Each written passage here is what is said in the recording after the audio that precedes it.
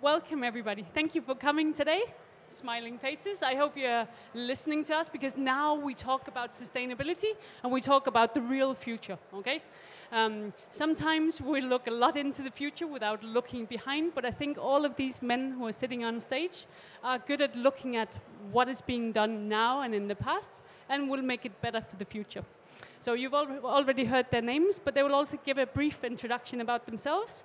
And we welcome questions afterwards. So if you have anything, please just put up your hand and we'll get someone with a microphone. My name is Anne Marie. As you can see, I have a sustainability advisory here in the UAE, and we help companies understand that they can both save money, make their cultures better, and just overall make more profitable companies if they think about sustainability. So welcome. Uh, yeah, you can give a brief introduction. Yeah, thank you very much, Anne Marie. Hello, everybody. Well, my name is Cornelius. I'm in charge of uh, an organization which is called uh, DII Desert Energy, or known as Desertec. DII stands for Desertec Industrial Initiative. Uh, we started in 2009 to uh, enable renewable energy in the region, so North Africa and the Middle East. We, we started obviously at a point where people thought that renewables will never happen, there's oil and gas, it's too expensive.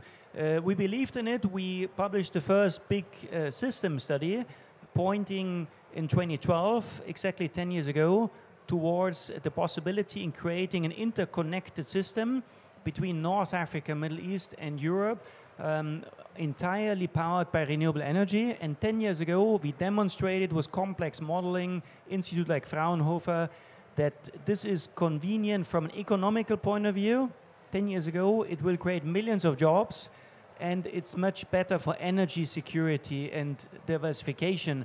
And uh, if you look now in uh, less than 10 years, uh, the prices for solar and wind have come down 90% for solar, 60% for wind.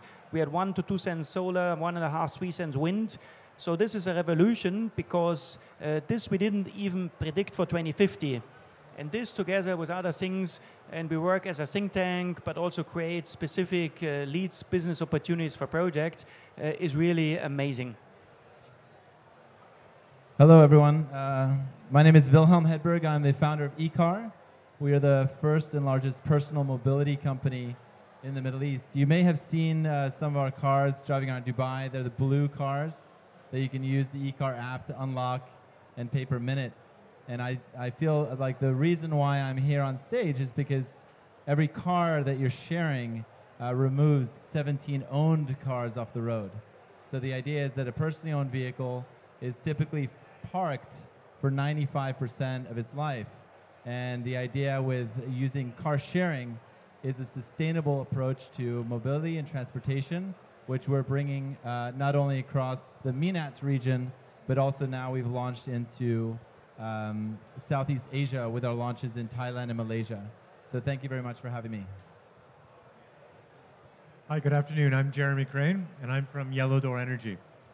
Uh, we are a six-year-old uh, scale-up, I would ca categorize ourselves now, uh, delivering clean energy solutions for businesses. Our vision is to reduce the cost, reduce the carbon foot, carbon footprint and increase the sustainability of the energy that businesses in this region, Middle East and Africa, are, are servicing. Um, we have uh, offices across five countries, and uh, we count some of the major multinationals uh, and large regionals, the Nestle's, the Majid Al Futtaims, uh, and many more as, as our customers. Thank you for the introduction, everybody. And uh, like you said it really well that there's a lot of opportunities in what you're doing. You're both uh, like making sure that people can move around, you're giving them better energy, you're creating jobs, you're shifting everything that we are doing right now. But what are some of the major challenges that we're also seeing from transforming? We are in a region um, that loves transformation, but there are still challenges, right, to overcome of course, there's always challenges. So the biggest challenge uh, from when I started uh, 13 years ago working in energy transition in the region has been uh, fossil fuel subsidies. And uh, it is almost uh, you know, unbelievable that we are, uh, in terms of phasing out, where we are today, like here, almost no fossil fuel subsidies anymore in the UAE, Egypt on advanced phase. Even Saudi, who would have thought that Saudi really increases the price of energy? And we are halfway through. And now with net zero, obviously that's the first things country need to do to completely phase out fossil fuel subsidies because they're the biggest barrier from an economic point of view. So phasing these out, that's the biggest challenge, and then anything will happen. Uh, and the energy transition very fast. Now, uh, econom- from an economic point of view, technologies are there today. Uh, they're competitive without subsidies. So 10 years ago, that was a barrier. But today, I think uh, that moves very fast. And then, well, you can call it sometimes vested interests uh, in preventing uh, and that's a complex point, obviously, the change. But I think now I'm personally very optimistic because the last two years have seen, uh, you know, we started in hydrogen six years ago. Uh, we published our first big uh, study in three, uh, three, years ago, and people laughed at us, what is hydrogen? But now, how the discussion shifted in just two years um, in uh, incorporating hydrogen as an additional part green molecules of energy strategies in how things moved now so fast, uh, net zero. Who would have thought that uh, UAE net zero and then Saudi followed, Bahrain followed. Uh, so this is all amazing developments. Uh, COP27 this year, uh, next year COP28 here. So I'm very optimistic that really many of these challenges they can be overcome, and we see a big acceleration, indeed a disruptive cascade, because we have tipping points of technologies, market shares, prices, all converging. So this is a very powerful cocktail of things where really a big uh, pace of change cannot be stopped anymore. So both uh, Cornelius and Jeremy, you're most, mostly business to business, right? Whereas you, Willem, you're business to consumer. So you're actually working on changing people's behavior, right? Yeah, I mean, uh, in many ways, um, yeah, we, we, we look towards altering people's uh, purchasing behavior from traditional buying a car into understanding that a car is a, a depreciating asset. It's, it's causing a lot of debt. Uh, we've learned, uh, for example, in Thailand, where we just uh, have launched, that um, a large majority of, of uh, internet generation have uh, massive amounts of credit card debt. And one of the largest components of that is the purchase of vehicles. You know, our, our view is simply, you know, not only necessarily to bring on sustainable approaches to mobility, but it's also cost-effective approaches for mobility for, for the masses, right?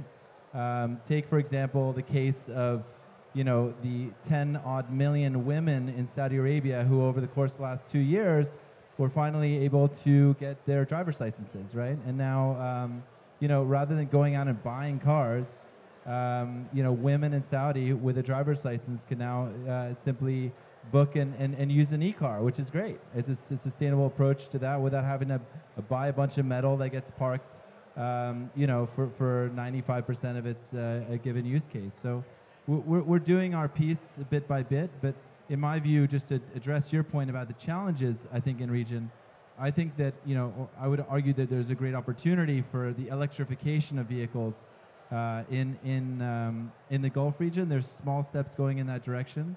Um, we're proud to be the world's first Tesla car share program, but there's a ton of opportunity in that space up until 10 years from now when everything's autonomous um, and, and uh, we're basically just inside of a box computer on wheels.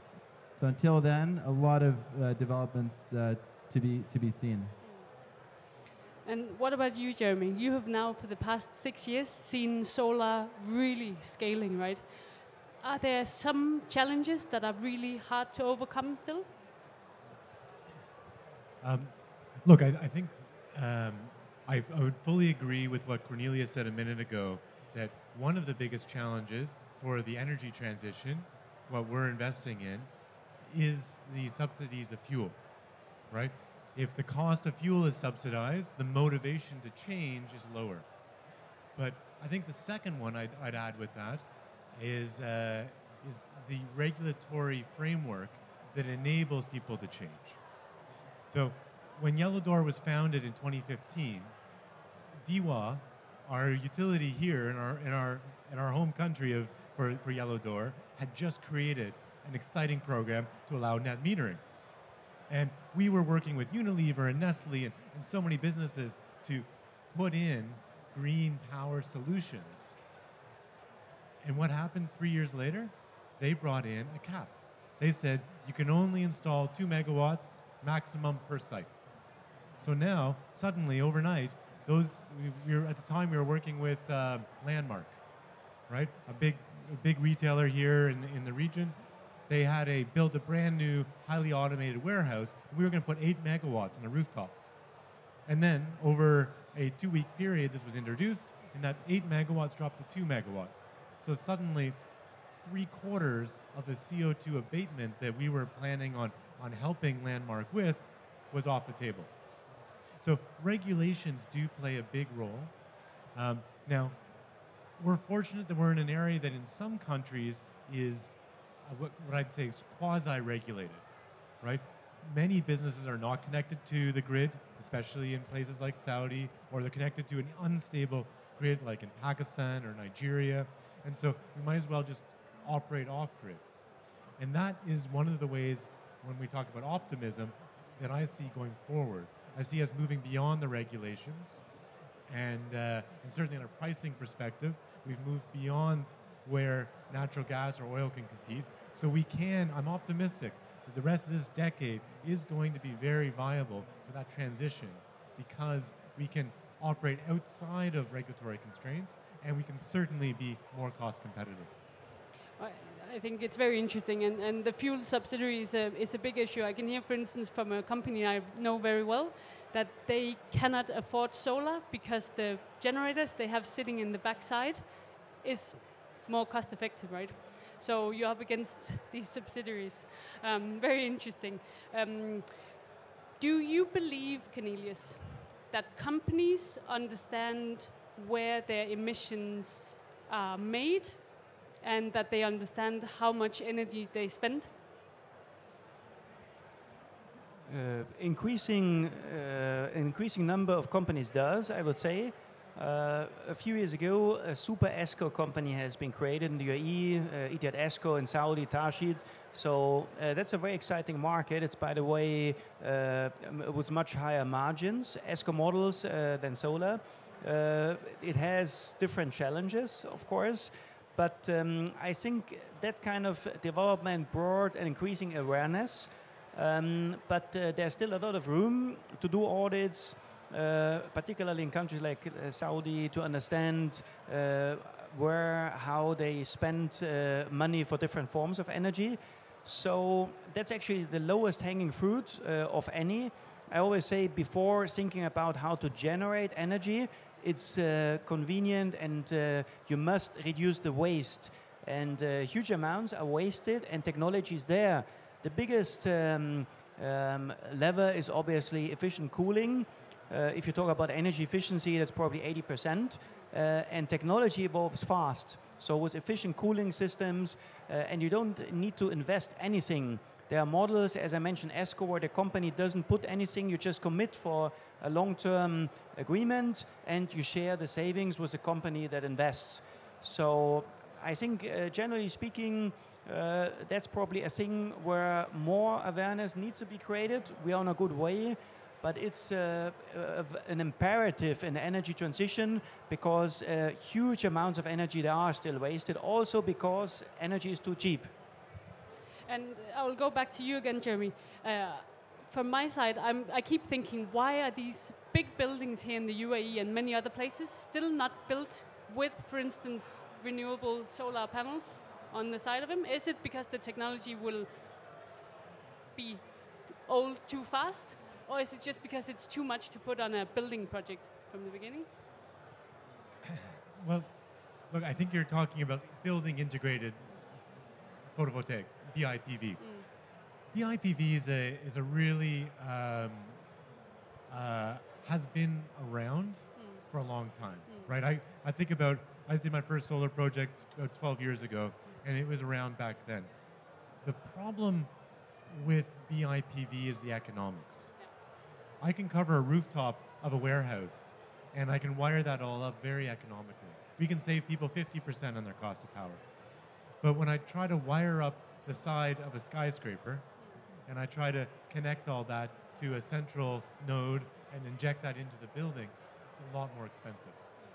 So it comes down to, I'd say, primarily the economics of it. And so while I'm a strong believer in distributed energy, and that's where our business is focused, for the dense parts of our, of our city, uh, downtown Dubai, uh, Old Dubai, where our offices in JLT, those areas will continue to be powered by centralized generation.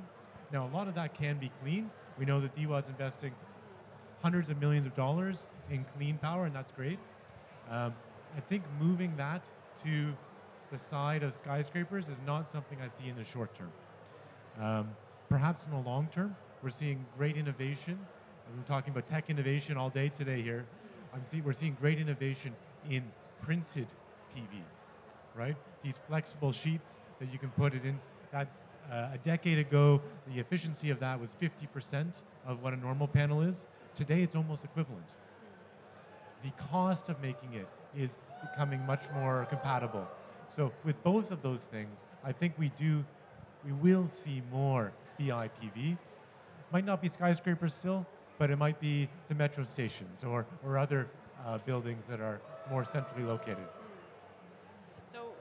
One of the things this one is also called is carbon emissions, right? And that's what we all talk about when we talk about mobility. Um, I think there's uh, somehow a distorted image of how much uh, emission comes from personal mobility and from transportation overall of goods and that sort of thing. Do you think we should educate drivers more, first about why and when they need to drive, and overall, if we can build cities that are smarter, and if that's part of your strategy for the future? Yeah, I mean, so that's a great question. I mean, uh. I think we can educate a lot of drivers on a lot of things. Um, right now at eCar, we're pulling in about 1.3 million data records every day.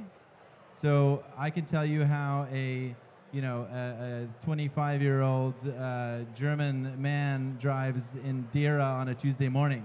I mean, I don't know if I need to know that, but we know that information. We have that data.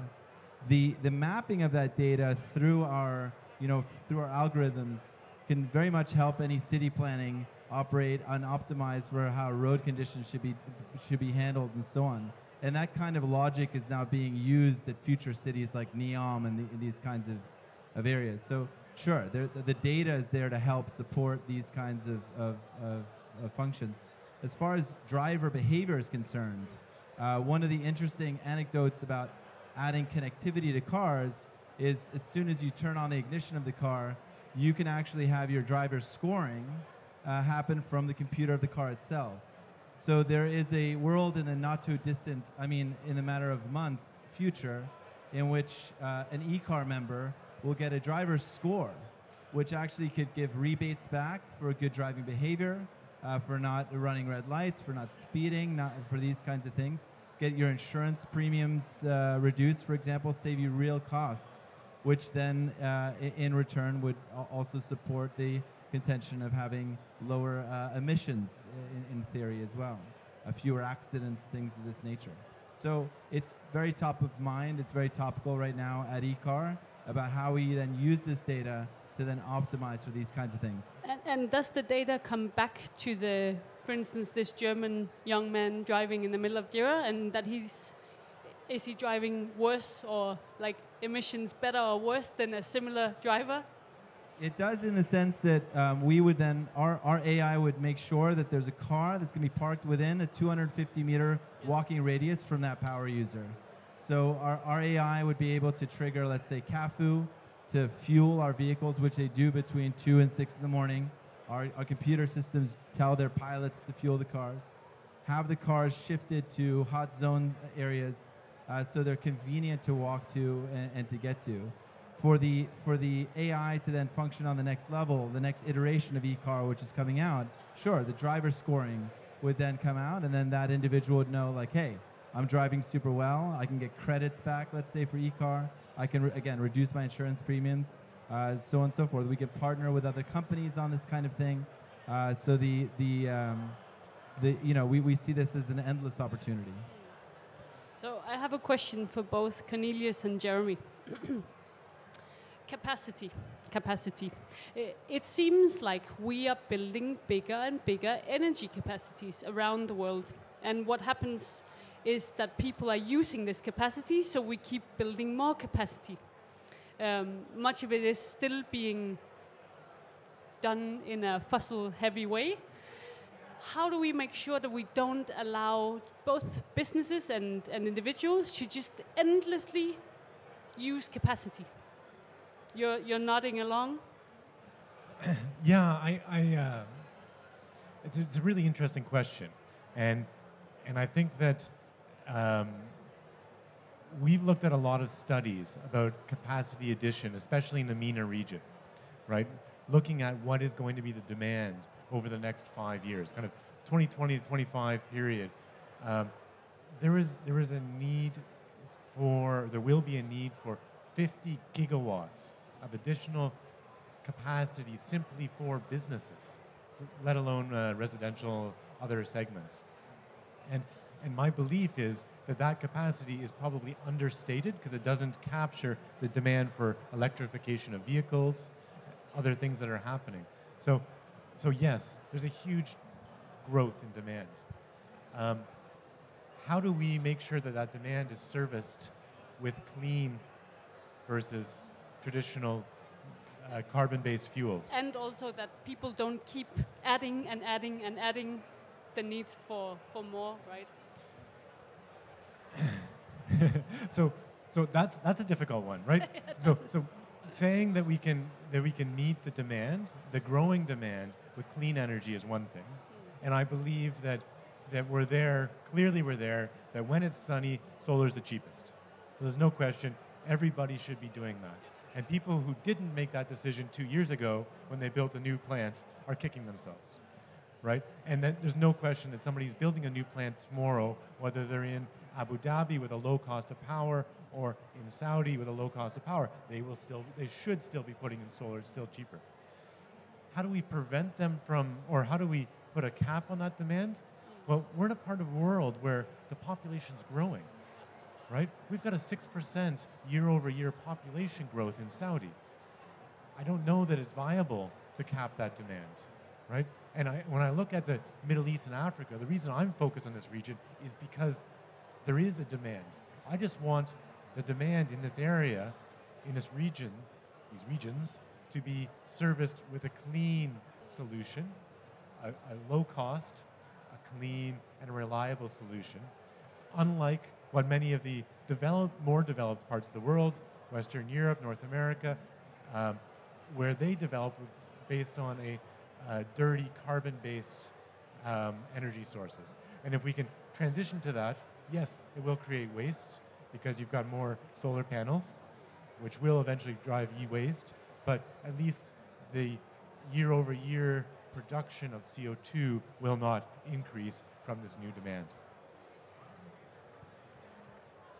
Yeah, well, uh, if we look globally, the last few years in a row, renewable energy capacity has been more than 90% of all installed new capacity in the world. And this is mainly due to economic reasons, because as Jeremy said, solar and wind, not only here, even in a country like Germany, uh, you know, we are sub 4 cent solar. So even a country like Germany, which wants to do 80% renewables in 2030, in eight years from now, and Germany is already at 50%, and it's uh, the country with the largest industrial base with a big energy consumption. So it shows this is possible, and this will happen for economic reasons. So I think anybody thinking about adding uh, conventional capacity will uh, for sure have to look at the stranded asset risk.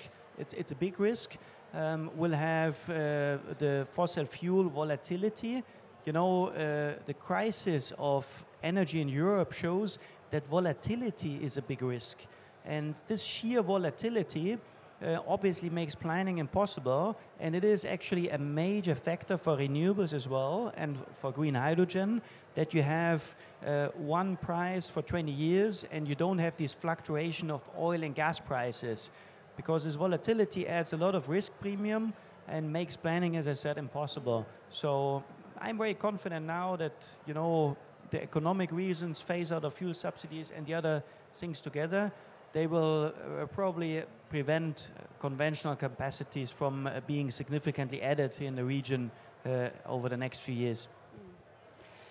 So we're also at a conference where there's a lot of investor interest. Um, uh, I read the other day an article that said that Goldman Sachs in America still has two, $22,000 billion, okay, invested in oil and gas investments.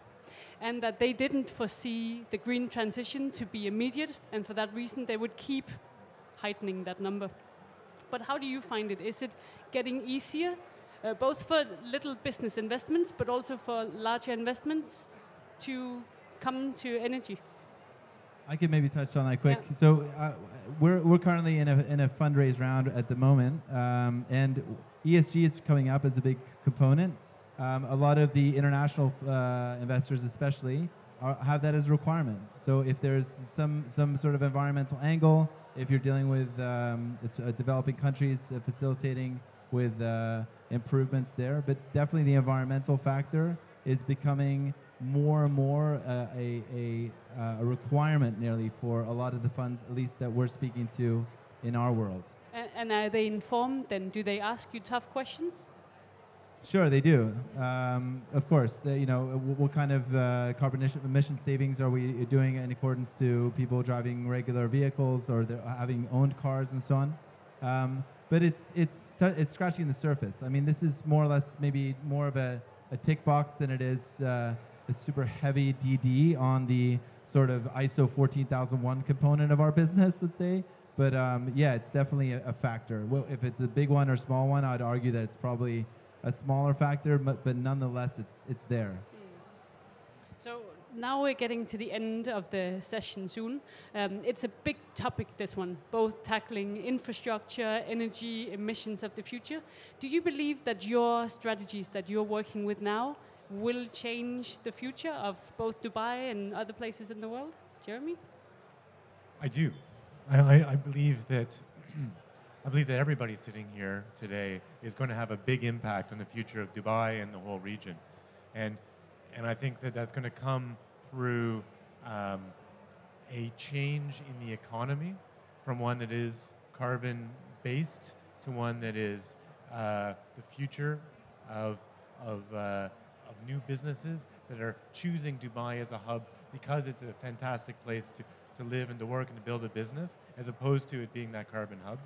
And I think that clean tech can drive that. Um, and I think that clean tech can also reduce the cost of energy, which can also attract businesses. So I think those two are going to, from my view, have a big impact on Dubai's future. Cornelius, you have the you have the plan in your head for what the future is for energy. Yeah, well, I foresee personally a disruptive decade. It will be really exciting years ahead, and as Jeremy says, we move to diversify the company, the economy, many jobs. Actually, I want to see more startups you know, with Dubai Angel Investors, we have done 33 investments, not a single uh, clean tech, which is really a pity. Uh, I've personally invested in a few startups here. Uh, I'd love to do more. So this is a huge opportunity actually, but Dubai has already become a global center of the energy transition, and this makes me quite hopeful, this development, that it will continue in a very dynamic manner. Yeah, and sort of in our view, in the in the late you know 1900s, uh, everyone owned a horse and uh, when the when the car came, that was kind of a hobby thing. Um, of course, now we're seeing uh, for the rich, and then now we're seeing, of course, that uh, you know people uh, ride horses as as rich people ride horses, and, and, and, and the car's taken over. And then the next iteration of that, uh, in our view, is that the autonomous vehicle will take over, and owning a vehicle will be like kind of like owning a horse, right? It's going to be a hobby for the rich uh, as a side gig.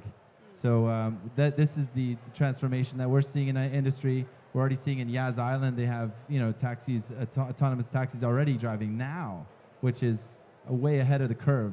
So the UAE is doing quite a bit in, in that regard to, to push the envelope, and we're really happy to be part of that ecosystem.